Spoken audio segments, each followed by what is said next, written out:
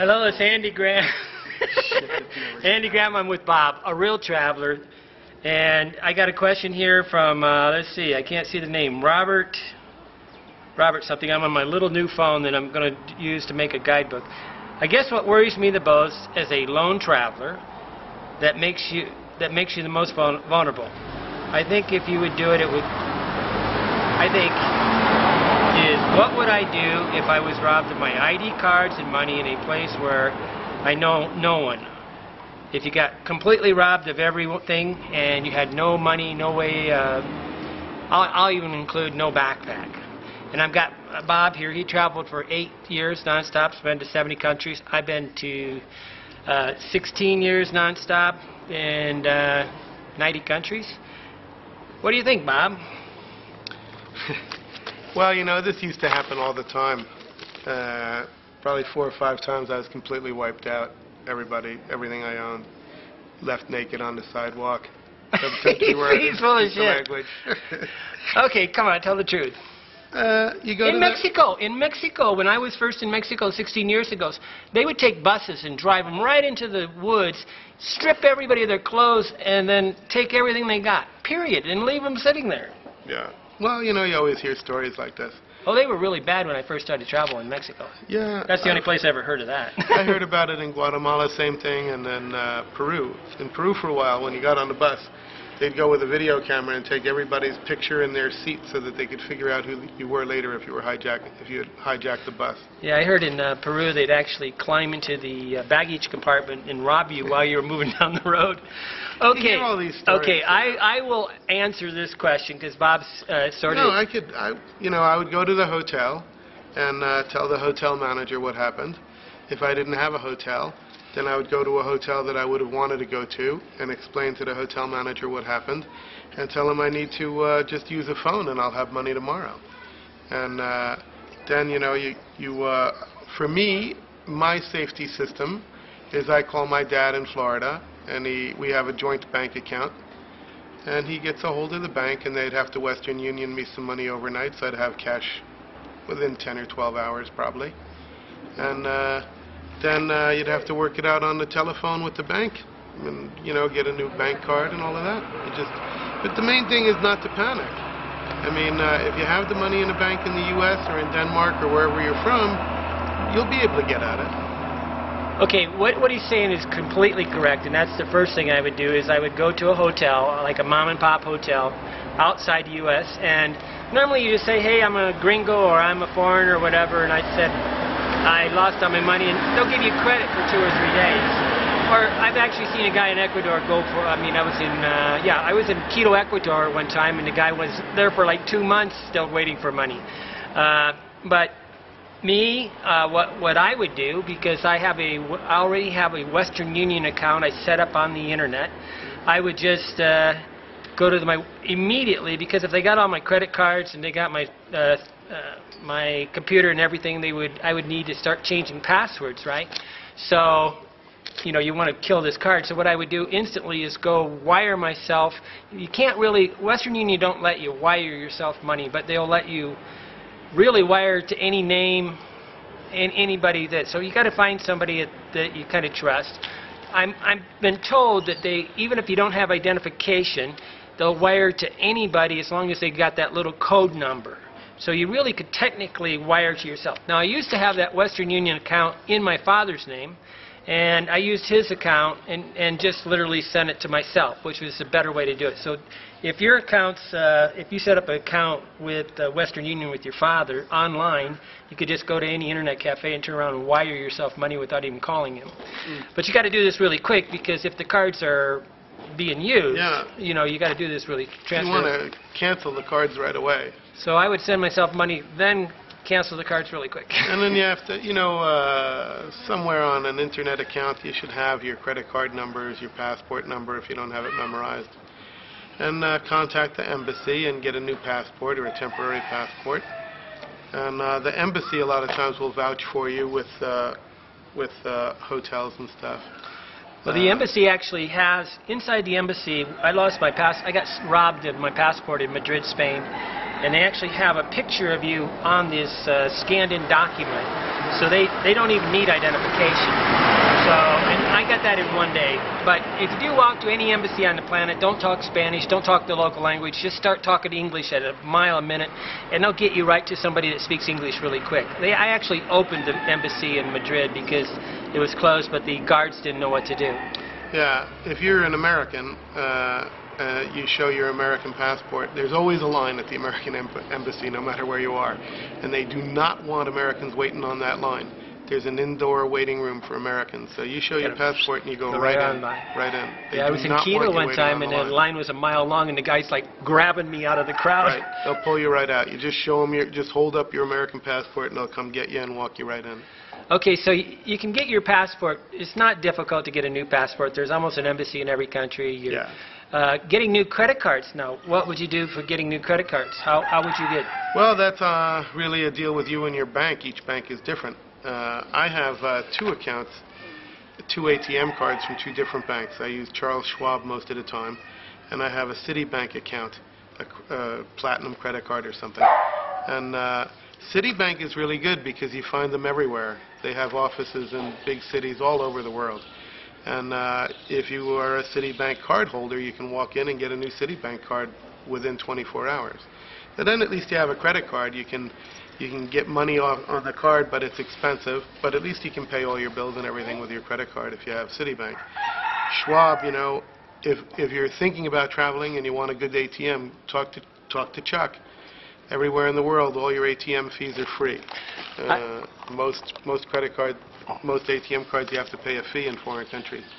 But with Schwab, you don't have to pay Hey. any fee. That's good to know. In fact, just the other day, I took money out. They charged me a dollar fifty, Yeah. and I look on my statement and I see the dollar fifty fee, and right next to it, I see rebate dollar fifty. Charles Cool. Schwab pays the f- pays the fee for me. Great.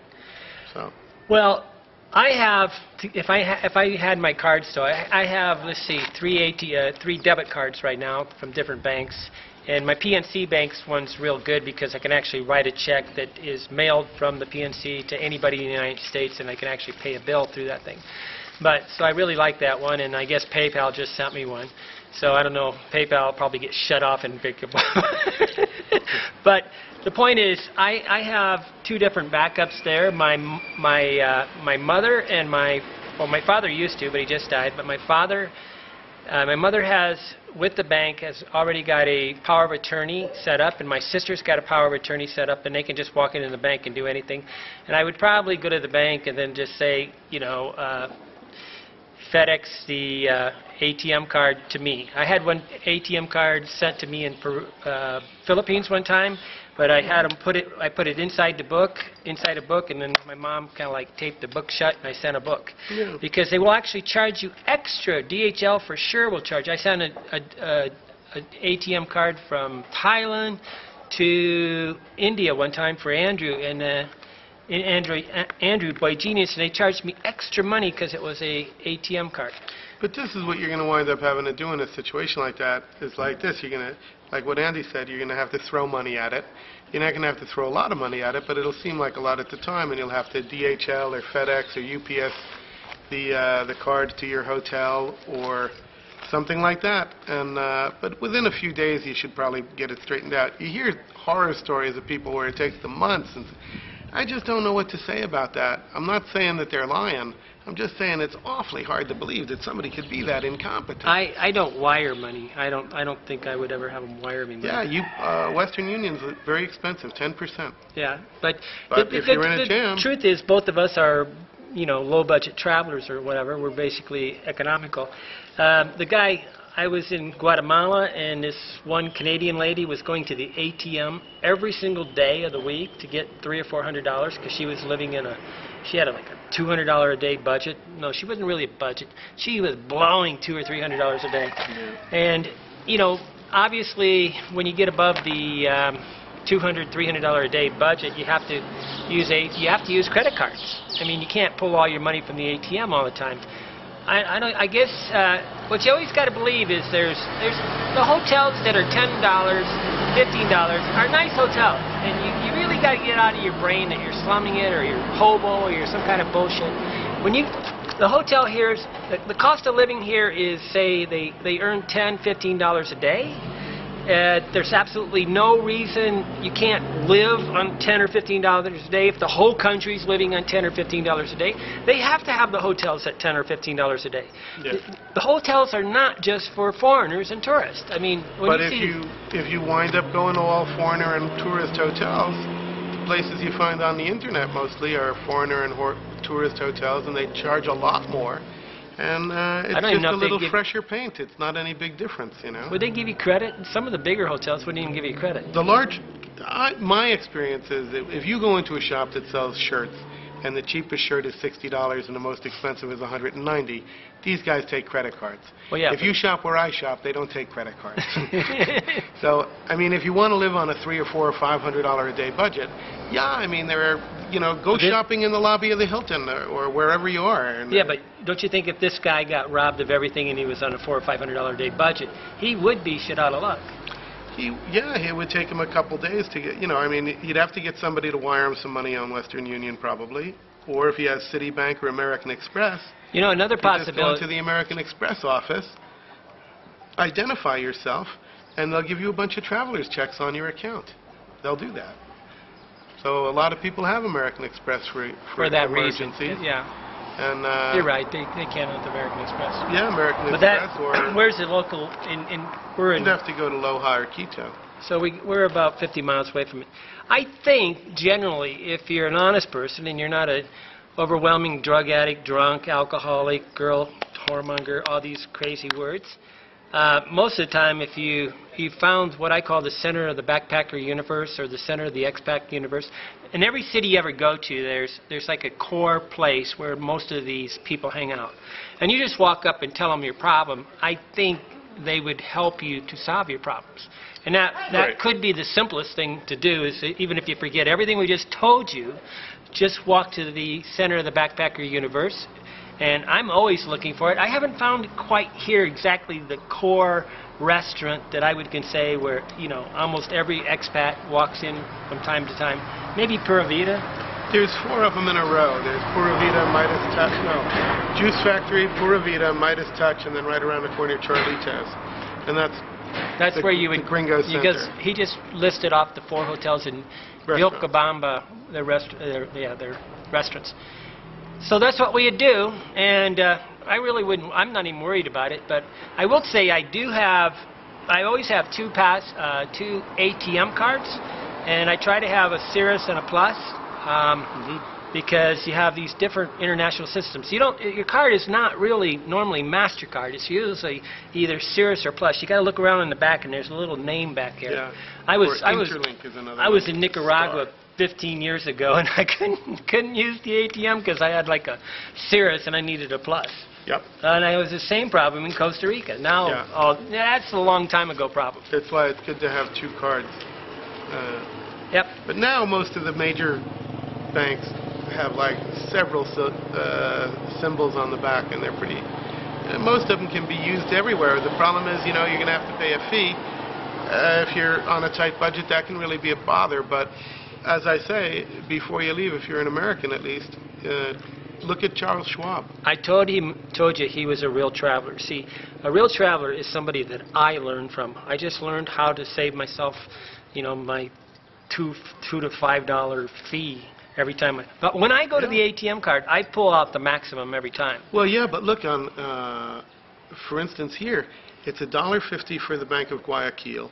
Well, Wachovia also wants uh, two fifty, and then Wachovia also wanted uh, one as a currency exchange rate, Ooh. even though it was dollars here and dollars there. Yeah.